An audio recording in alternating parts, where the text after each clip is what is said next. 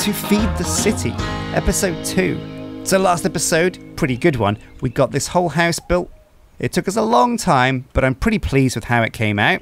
And uh, we got the kitchen done as well. We got some a fridge, a sink, an oven, everything somebody needs to make their house a home. Also, I said I was going to do the uh, the smeltery, and if you look behind me, that's exactly what you'll see. There's a tool station, part builder, pattern chest, stencil table. Everything's pretty much up and running. So let's jump in, and I'll show you the rest of the completed Tinker's Construct smeltery.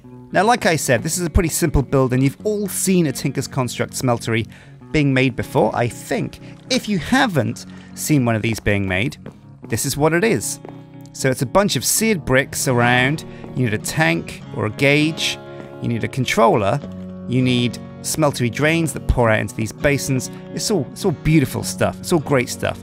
And we've got a casting table, casting basin to filter out the metals. So the metals go in here, the ore goes in here, turns into liquid here if you have the lava here. And then while it's in a liquid form, you use these faucets, they're taps, to pour them into blocks or you pour them into casting tables, which are frames for making tools. Pretty simple. Okay, it looks like the, uh, the time is growing late because I've also got some kitchen stuff to put down. But what else have we got? So we've got a tool rack, a fruit basket, a spice rack, and a rack. That's from MineColonies though. To put in the kitchen, a great place to store stuff. I'm gonna have a sleep before creepers start spawning. Ah, another beautiful day on the farm. Oh, and what a view every day. I never get tired of that view. I might, I might get tired at one point though. Or if I deforest too much, it might become a bit of a bad view. So I've got to be careful of that. So yeah, what have I got? Well, I put down some extra kitchen counters, gathered up some terracotta. It's super easy to make, uh, and it looks great. All of these function as chests, so you can right click on them and see what's inside. I've got a fruit basket here that I've put down, and how does that work? It's also an inventory. But what happens if I put an apple in here? Can I see it in the fruit basket? Oh, you can! Sweet, so I can array a bunch of fruits here and have them be on show. We've got a spice rack, which we can put down. Probably a bit low for that, so we'll uh, just dig that up. We can put these a bit higher. So we can put a couple of spice racks up there. We've also got a tool rack, two of these, which we can put up there. And we can put things like, um, I guess, the cooking for blockhead tools, like a chopping board and things, on the tool rack. Sounds pretty good. I've also got normal racks, and I can put these over here, and we can use these to just store extra ingredients that we need. Actually, I think you can probably stack these higher uh, and get even more storage space in here. Already our kitchen is looking pretty swish. There's even a fish in the sink. What the hell is that doing there? Can I get it out? Psh, I don't know. So, this episode, what are we going to do? Well, we're going to build some power generation. I want to start with something that's very environmentally friendly, and I think the best mod for environmentally friendly power at the moment, from experience, feels like it's going to be immersive engineering. We've got this massive, kind of beautiful waterfall up here, and I'm thinking, wouldn't it be pretty sweet if we could generate some uh, some water power from this big bad boy? I do think so, and also we could utilize the, the height of the mountain to maybe generate some uh, some wind power too. And immersive engineering has all the things you need. If we take a look here, it's got windmills and water wheels, the perfect combination. So let's get to it. What am I going to need for a water wheel? Steel. Okay. Hmm. I can't make steel yet. And if I want to make steel, oh, I'm going to have to wait until the city can provide me with steel bars. Oh, that's a nightmare. Oh, okay, okay, let's think about this. I don't need power yet, but what I will need is uh, two of each animal to start breeding them. So I think I'm going to make some fences and set up some makeshift pens. And we'll see if we can go full Noah this episode and collect two of every animal that we need. For now, we need to set up some simple pens for the animals. And we'll put them here for the time being. Yeah, let's do that. So we want... I'll do it three by three. One, two, three. Space for a gate. And then the next one. Right, let's take a mental note. So cows are big. Sheep are big. Pigs, semi big, they only give us meat. And of course, finally, we need ducks or chickens, whichever one you want to call them. So let's uh, let's put some dirt on the corner there. Get that up and running. One, two, three, four. Oh, perfect. Holy crap. The exact right amount of fences that I need. So cows, sheep, pigs, ducks. Simple. And this is going to be a temporary holding place before we get the, uh, the actual animal pens in place. With the actual animal pens, we'll be able to uh, use machinery to breed them and then harvest them. There's a number of different ways we can do that, and we'll look into those once we've got the animals. So we want to make big chests, and we've got some really cool chests on the All the Mods series that we use wooden casing for. So we need planks, logs in the middle, and sticks on the top, bottom, left, and right. Super easy. Turn those all into planks. Turn all these into sticks. And uh, let's start making these, these wooden casings. I hope forward works. It might not work. Oh, yes, it does. Thank God. And what's this? We've got a book as well. Is it? Is it a good book? Laser transport. Advanced item laser relays. What? I can send items with lasers? Shock absorber. Protect an area up to five blocks around it from any type of explosion. Oh man, so if we had these around with power, we could uh, make our base creeper proof. A farmer. It's a block that can, once placed in the world, plant and harvest different types of crops. Oh, maybe this is what we want to use. For the basic crops, that might be a good idea. Okay, so eight small storage crates. And I reckon we're going to put use this area downstairs mostly for storage. Let's chuck these babies down. Oh, perfect amount. So we need to make uh, we need to make some crops. Let's see if we can make a hoe. Might need two, because these things are pretty flimsy. Bam! And suddenly the outdoors is blemish free. So let's uh, let's dig out some areas that we're going to put some simple crops on. There we go, a nice little trough. And again, this is just a temporary plot. It doesn't look very good because it's not very good. It's a kind of it's a kind of junk uh, junk little little little kind of farming crop place, but should be okay. It even looks horrible. Look at that water flow. Ugh. So it looks like firwood is going to be uh, probably my go-to because it's so easy to make. Oh, he's free. He got free. Oh, that looks really ugly. I should have made it out of spruce. Ugh. Well, again, these are temporary pens, so we'll have to make do. Ugh. Okay, so we need some regular seeds for the chickens. We'll need some wheat for the cows and the sheep. And some carrots for the pig. Let's do it. So if you guys can think of anything else to jazz up our house, any must-have things we should put in the house, drop it in the comments section uh, and I'll see it and perhaps put it into action. Because there's all kinds of bits of furniture that make life a lot easier as well. Okay, a quick seed check. Let's see what we got. Oh, we got we got the real deal. Actual seeds. We do still need carrots. So I'll have to go and pillage those from a village. Those are one thing that it's really useful to find a village for. If you can get a carrot from a village, that's pretty much what they're there for. Oh, beautiful. Thank you very much, guys. Let's head home. Another beautiful day on the farm. Have an apple. Every day starts with an apple. An apple a day keeps the doctor at bay. Maybe. I don't think it does, actually. I think if you ate nothing but apples, actually, you get very sick. That's an Enderman, but it's daytime and he's looking at me. Just going to ignore him, pretend I don't see him. So the seeds are growing slowly. We're also going to need an infinite water source actually, so let's go and get the water for that. That'll come in very handy. And we'll put it up here. Eventually we'll turn it into a well, just like we did in Feed the World actually. That reminds me, that was pretty cool, pretty cool plan. There we go, infinite water source. So now we can start making our farms look a lot nicer. Blam! Perfect. So let's open the gates and get ready to welcome our new friends. So here you are, my friend. That's right, you like this stuff. So we're going to put you in the furthest pen over here, the first pen. Two brown cows. Oh! Oh my god, that son of a gun.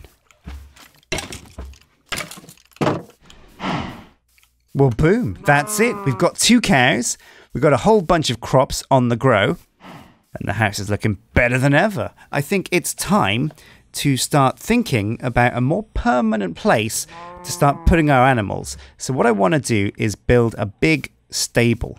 It's going to have to have uh, food on the floor for the animals. But when I think about it, we're going to want something that we can heavily machine. So we'll need a big old fashioned style barn.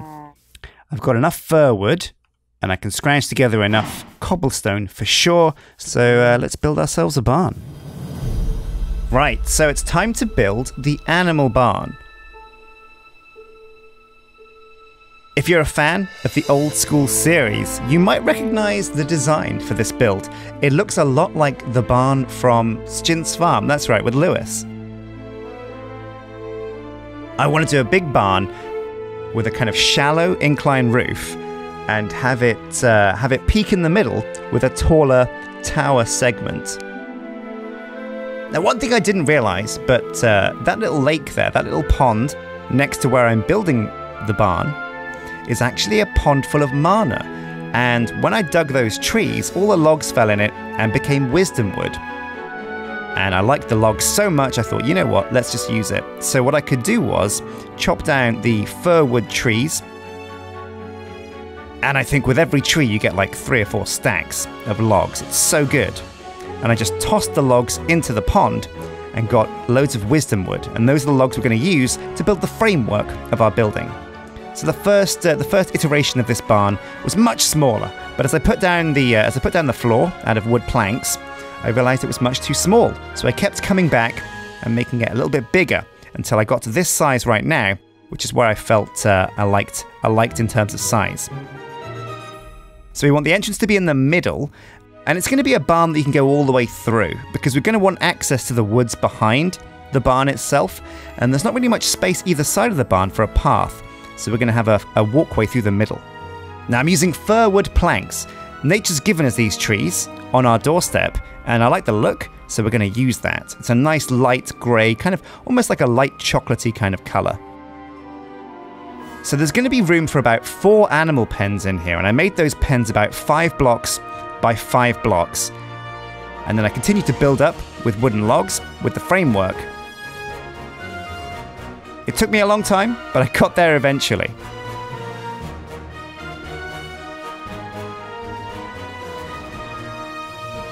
And then we'll skip forwards to me putting the roof on and the finished barn.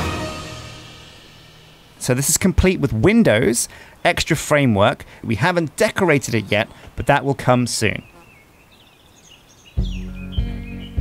Right, so there you go. We've completed construction of the cow barn. My two brown cows are still in their temporary pen, and there's loads of cows around. Now, what we need to do is also get sheep, pigs, and ducks, but this is going to be the cow barn. Now, let me walk you through some of the decisions I made with this build. Now, there's a couple of things out of place. It's not quite complete. It's mostly done. The framework's there and the decoration of the outside's done, but I can't do the interior because I'm not 100% sure how I'm going to do the interior. So I've left zones here. One, two, three, four, five by five blocks because that's usually the maximum amount of area a kind of harvester or machine tool can use to interact with wildlife and animals. So I've got four cages, four different zones around here that could feasibly fit cows and then do something with them so that it could uh, make them breed and then it could kill them to take their leather or it could kill them to take uh, their their meat. So this is basically going to be a kind of a slaughterhouse, I suppose, but for cows. So that's it. I mean, it's a big barn, and thinking about it, there might be a way where we could just use cows in one corner, chickens in another corner, sheep in one corner, and pigs in another corner. Uh, with the chickens, we need a way to get the eggs and the feathers. With the sheep, you need a way to shear them and to kill them for their meat too. And pigs, pigs are just all meat. They're all sausage, all bacon so we can just have them be killed. Yeah, maybe. Yeah, I think that's a good idea actually. There's another thing you can do with cows, and that's milk them. And we do want milk at some point, but definitely it feels like uh, we could have another barn be the milking shed.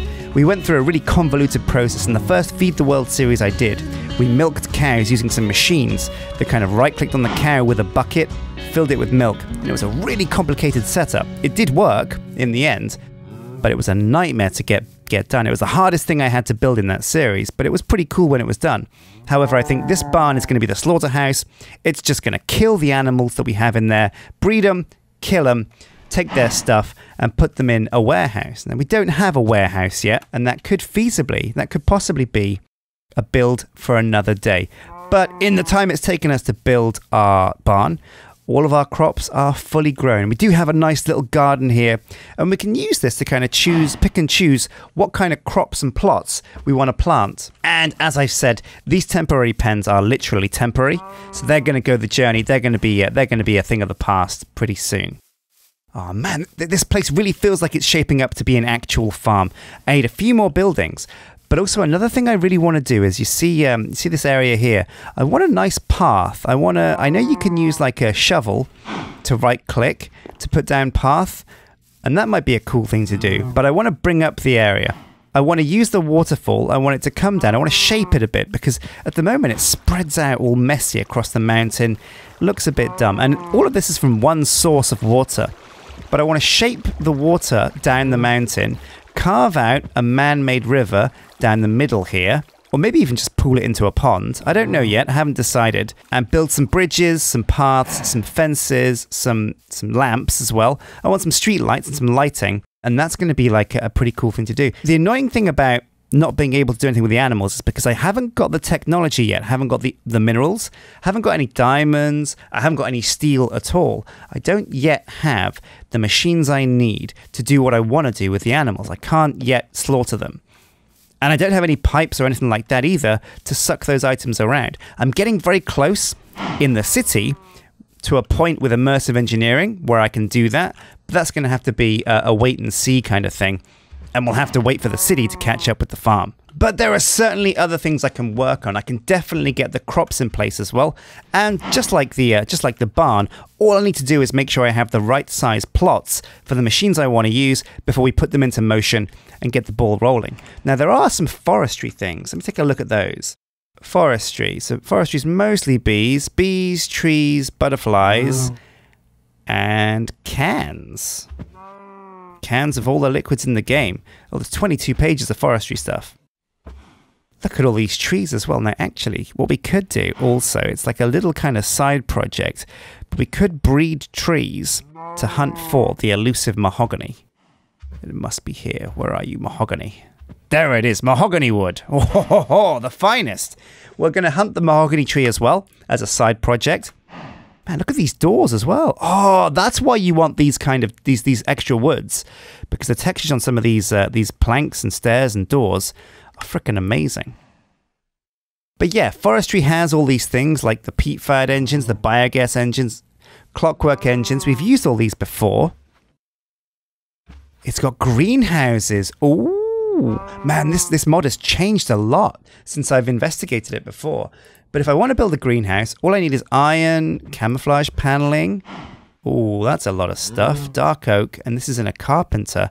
Hmm. Ah, oh, you know what? Yeah, we're going to do that. For the crops, we're definitely going to take a second look at forestry. It's, it's got a whole, it's got these multi-block structures, which we've used before, but so much, so many other things have changed massively with this mod. So I'm really excited to kind of investigate that. Also, guess what, guys? We're going to be hitting bees. That's right. I'm not lying with that one. We're going to go straight to the flying ah. magic insects. Now, we're not going to go straight to them. But Miner Queen? Silky Miner? Assassin Queen? What is this, Bee Wars?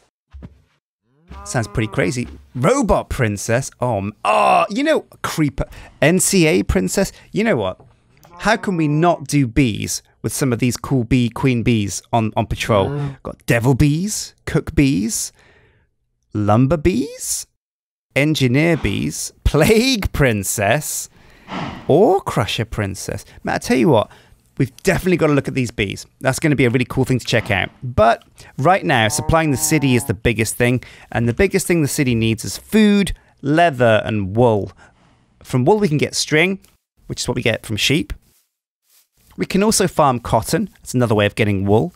So we'll see about that. But anyway, join me next time when we investigate forestry. I think we're going to use the workshop down here to put down the carpenter and things, we can definitely get like a makeshift generator for the time being, just like a coal-fired one, to work all of the machines that we need. And then we can uh, then we can definitely start putting down some crop fields. And I want big, big crop fields. I don't want small ones. I want huge crop fields. I want enough crops to to feed feed the world. Well, maybe not the world. We're, we're past that. To feed the city. Well, I've been Sjin, and this has been Feed the City. Join us next time when, like I said, we're going to be investigating carpentry and doing some crops. Till next time, guys, take care.